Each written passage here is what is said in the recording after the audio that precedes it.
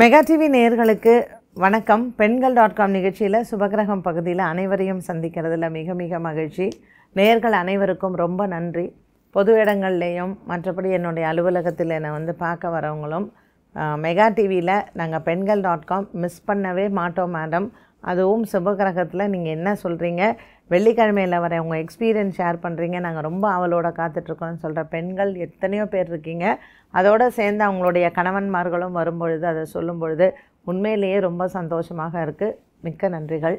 இன்றைக்கி வந்து நம்ம பேச போகிற விஷயம் என்ன அப்படின்னு பார்த்தீங்கன்னா பா ஆணி ஆனி மாதம் வந்து வரப்போகுது. ஜூன் மாதம் பதினாறாம் தேதி ஆணி பிறக்குது வெள்ளிக்கிழமை.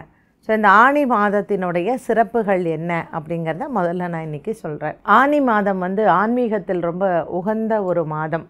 ஆணி ஆனி மாதம் வந்து தேவர்களுக்கு வந்து அந்த பகல் பொழுது முடிந்து இரவு பொழுது ஆரம்பிக்கக்கூடிய ஒரு காலகட்டம்.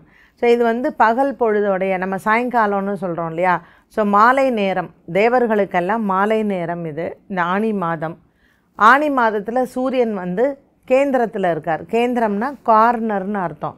ஸோ மிதுன ராசியில் சூரியன் வந்து ஒரு மாத காலம் இருக்கக்கூடிய இந்த காலகட்டமானது ரொம்ப ரொம்ப விசேஷம் தேவர்களுக்கு. ஏன்னா இது தேவர்களுக்கு மாலை பொழுது அப்படிங்கும் பொழுது இறைவனை அவர்கள் பிரார்த்தனை செய்யக்கூடிய ஒரு நல்ல காலமாக அமைகிறது. அப்படியே மிதுனத்துக்கு ஏழாம் இடம் பார்த்திங்கன்னா தனுசு. இந்த ஆனி மாதம் மூல நட்சத்திரத்தில் நமக்கு பௌர்ணமி வரும். ரொம்ப விசேஷம். ஆனி மாதம் மூல நட்சத்திரம் அப்படின்னாலே ரொம்ப ஒரு சிறப்பான ஒரு நாள்னு அர்த்தம். ஆணி மூலம் அரசாளும் அப்படிங்கிறது தான் வாக்கியமே. நம்ம மக்கள் தான் அதை ஆண் மூலம் அரசாளும் அப்படிங்கிறத மாற்றிட்டாங்க ஸோ ஆனி மாதம் மூல நட்சத்திரம் அப்படிங்கிறது ரொம்ப சிறப்பான ஒரு நாள். ஸோ இந்த ஆனி மாதத்திற்கு பிறகு இந்த தனுர் மாதம் மார்கழி மாதத்தில் சூரியன் இந்த கேந்திரத்தில் இருக்கார். ஸோ ரொம்ப அதுவும் ஒரு விசேஷமான ஒரு மாதமாக கருதப்படுகிறது. ஸோ இந்த பன்னிரெண்டு மாதங்களில் ஆனி மாதம் மார்கழி மாதம் ஆன்மீக மாதங்களாக கருதப்படுகிறது. இந்த ஆனி மாதத்தில் இறைவனுக்கு செய்யக்கூடிய வழிபாடுகள் ரொம்ப ரொம்ப சிறப்பான ஒன்று. ஆனி மாதம் அமாவாசையாக இருக்கட்டும் இல்லை ஆனி மாதம் பௌர்ணமியாக இருக்கட்டும் ரெண்டுமே ரொம்ப சிறப்பு வாய்ந்த ஒன்றாக இருக்கும். ஆனி மாதத்தினுடைய சிறப்புகளில் வந்து பௌர்ணமி ரொம்ப சிறப்பு. ஆணி மூலம் அப்படிங்கிறது ரொம்ப ரொம்ப சிறப்பு. இதில் வந்து இந்த ஆணி மாதம் மூல நட்சத்திரத்தில் சந்திரன் சஞ்சாரம் செய்யும் பொழுது இறை வழிபாடுகள் முக்கியமாக நம்ம பார்த்தோன்னா இந்த பௌர்ணமியில் பெண் தெய்வ வழிபாடுகள் ரொம்பவுமே ரொம்ப சிறப்பு வாய்ந்த ஒன்றுன்னு தான் சொல்லலாம். இந்த வளர்பிறையில் வரக்கூடியது. இந்த ஆணி மாதத்தில் வரக்கூடிய திருமஞ்சனம் ஆணி திருமஞ்சனம்னு சொல்கிறது இது என்னைக்கு வருது அப்படின்னு பார்த்தீங்கன்னா உத்திர நட்சத்திரத்தில். சந்திரன் வந்து எப்போ உத்திர நட்சத்திரத்தில் இருக்காரோ அப்போ ஆணி திருமஞ்சனம் வரும். ஜூன் மாதம் இருபத்தி ஆறாம் தேதி திங்கக்கிழமை அன்று இந்த ஆணி திருமஞ்சனம் நடைபெறுகிறது. ஸோ இது என்ன கதை அப்படின்னு பார்த்தீங்கன்னா மாணிக்க வாசகருக்கு நட்ராஜ பெருமான் அதாவது சிவபெருமான் வந்து அவருக்கு உபதேசம் செய்த நாள். அது மாலை பொழுதில் செய்தார். ஸோ இந்த ஆணி திருமஞ்சனம் ஆணி உத்திரம்னு சொல்லக்கூடியது சிவபெருமானுக்கு ரொம்ப ஒரு முக்கியம் வாய்ந்த ஒரு நாள். மாணிக்க வாசகருக்கு அன்றைய நாளில் அவர் உபதேசம் செய்தார். ஸோ குரு பூஜை மாணிக்க வாசகருக்கு குரு பூஜை நடக்குது அப்படின்னு பார்த்தீங்கன்னா இந்த ஆணி உத்திரத்தில் சிதம்பரத்தில் இருக்கக்கூடிய நட்ராஜர் அங்கே தான் அந்த மரத்துக்கடியில் அவர் வந்து உபதேசம் செய்தார்.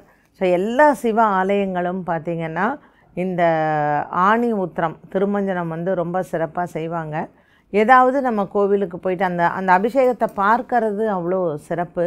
நம்ம பாபங்கள் தீர்வதோடு மட்டுமல்லாமல் குருவின் அனுகிரகம் நமக்கு கிடைக்கிறது இல்லையா? ஸோ இந்த குரு அனுகிரகத்திற்காக நம்ம வந்து இந்த ஆணி திருமஞ்சனத்தில் கலந்து கொள்ள வேண்டும். ஏதாவது நம்ம பொருளாக கொடுக்கலாம். பால் தயிர் இளநீர் பன்னீர் இது மாதிரி சந்தனம் இப்படி எது வேணாலும் நம்ம வந்து தானி திருமஞ்சனத்திற்காக கொடுக்கலாம். இது இந்த வருடம் வந்து என்ன சிறப்பு அப்படின்னு பார்த்தீங்கன்னா திங்கக்கிழமையிலேயே வருது. ஸோ திங்கக்கிழமை சந்திரனுக்கு பலம் இருக்கக்கூடிய ஒரு நாள். அன்னைக்கு சிவபெருமானுக்கு இந்த ஆணி திருமஞ்சனம் செய்யும் பொழுது ரொம்பவுமே சிறப்பான ஒன்றாக அமையும். அதனால் ஜ இந்த ஜூன் டுவெண்ட்டி ஃபிஃப்த்து மண்டே இந்த ஆணி திருமஞ்சனம் நடக்குது. இதில் அடுத்தது நமக்கு சிறப்பு என்னன்னு பார்த்தீங்கன்னா ஜூலை மாதம் மூன்றாம் தேதி வரக்கூடிய பௌர்ணமி. இது வந்து ஆணி பௌர்ணமின்னு சொல்கிறது இந்த ஆணி மாதத்தில் மூல நட்சத்திரம் ரொம்ப சிறப்பு. ஏன்னா அது பௌர்ணமியோடு சேர்ந்து தான் அது வரும். ஸோ மூல நட்சத்திரத்தில் சந்திரன் சஞ்சாரம் செய்யும் பொழுது இந்த ஆணி மாதத்தில் மூல நட்சத்திரத்தில் பிறக்கக்கூடிய குழந்தைகள் அரசாளும் யோகத்தை உடையவர்கள் அப்படின்னு சொல்லுவாங்க. மூல நட்சத்திரம் பொதுவாக ஹனுமனின் நட்சத்திரம். அதனால் நல்ல ஒரு பலசாலியாகவும் புத்திசாலியாகவும் இந்த குழந்தைங்கள்லாம் இருப்பாங்க. ஸோ அரசாளும் அப்படின்னு சொன்னால் எல்லாருமே அரசாள முடியாது. இன்றைக்கி என்ன நம்ம மந்திரி ஆகணும் அப்படிங்கிறது. ஸோ எல்லாருக்கும் அந்த யோகங்கள் கிடைக்காது. இருந்தாலும் அந்த குழந்தை வந்து ஒரு ஆண் குழந்தை ஆணி மாதம் மூல நட்சத்திரத்தில் பிறந்தால் அது அரசாளும் யோகத்தை கொண் கொள்ளும் அப்படிங்கிறது தான் ஜோதிட சாஸ்திரம் சொல்லுகிறது.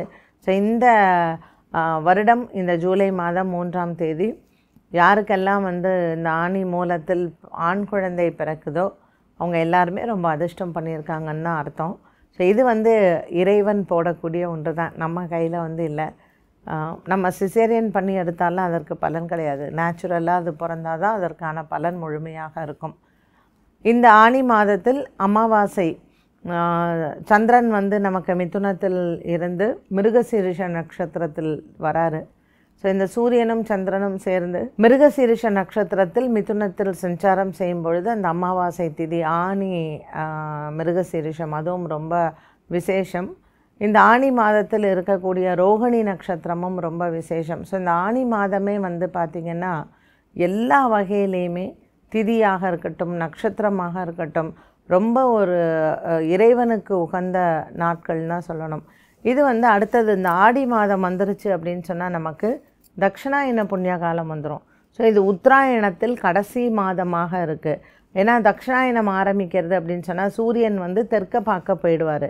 இப்போ சூரியனினுடைய பாதை மேல் நோக்கு பாதையாக இருக்கு. வடனு வடக்கு நோக்கி போகிறார் இல்லையா? இப்போ அடுத்தது தெற்குலேருந்து அவர் வடக்கு நோக்கி போவார். ஸோ தெற்குன்னா கீழேன்னு அர்த்தம். அதனால் தக்ஷணாயனம்னு பேர்.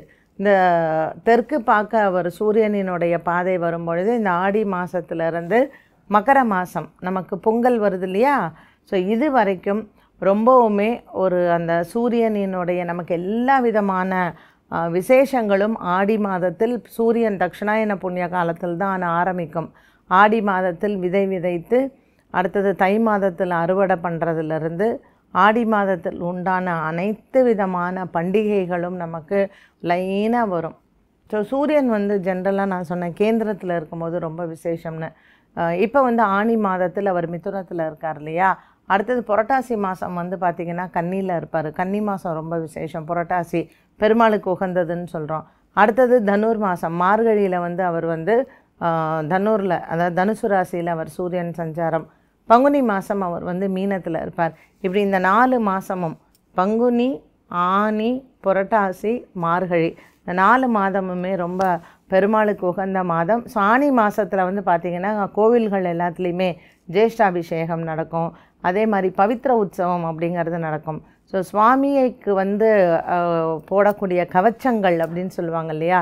அந்த கவச்சம் எல்லாத்தையும் எடுத்து அதற்கு சுத்தம் பண்ணி சுவாமிக்கு வந்து தனியாக எல்லா ஆலயங்கள்லையுமே பெருமாள் கோயில்லையாக இருக்கட்டும் சிவன் கோயிலாக இருக்கட்டும் ஆனி மாதத்தில் நம்ம வந்து இப்போ வீட்டெல்லாம் ஒரு பொங்கல் வருதுன்னா எப்படி வந்து வெள்ளை அடித்து எல்லாம் பண்ணுறோம் இல்லையா? வீட்டை திருப்பி சுத்தம் பண்ணி அதை புதுப்பிக்கிறோம். ஸோ தட்சிணாயனம் வரத்துக்கு முன்னாடி எல்லா ஆலயங்கள்லையுமே சுவாமிக்கு உண்டான பவித்ர உற்சவம் அப்படின்னு சொல்கிறது இது நிறைய ஆலயங்களில் வரும். கொஞ்சம் முன்ன பின்ன வரும் கோவில்களினுடைய அந்த அவங்க தனிப்பட்ட ஒரு கேலண்டர் வச்சுருப்பாங்க பஞ்சாங்கம்.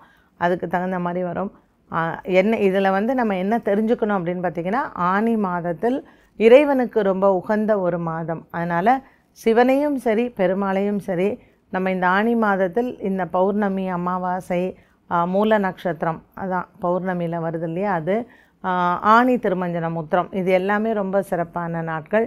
ஸோ இதில் நம்ம இறைவனை வழிபாடுகள் செய்து பயனடையலாம். என்ன நேர்களே ஆனி மாதத்தினுடைய சிறப்புகள் எல்லாம் கேட்டீங்க. மீண்டும் சந்திக்கும் வரை நன்றி வணக்கம்.